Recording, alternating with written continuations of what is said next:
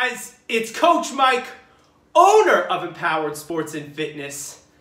And we are back again for another movement game of the day.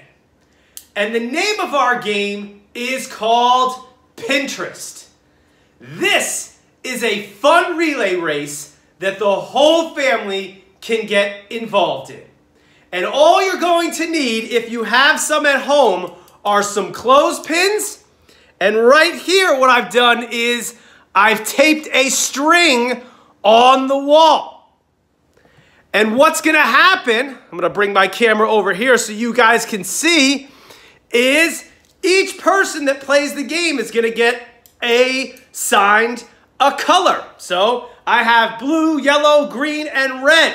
So each person gets a color. And for their first pin, they're going to run as fast as they can, all the way down, pin their clothespin on the line, and run back.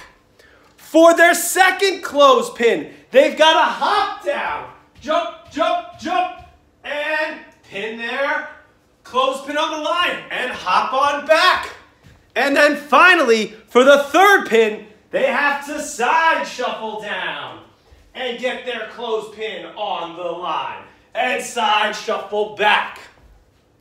So, the first person to get all their pins on the line, you got to pin it to win it, wins the relay race. Okay? This is an awesome game to get the whole family involved in. Moving, having fun, being silly. All right? It's also up to you for each of the clothespins that you have. You can get as creative with the movements as you want. If you want it to be all running, it can be all running. If you want to mix it up like I did with running, jumping, and side shuffles, awesome. Get creative, okay? Please remember to keep moving, have fun, and I'll see you guys for the next video.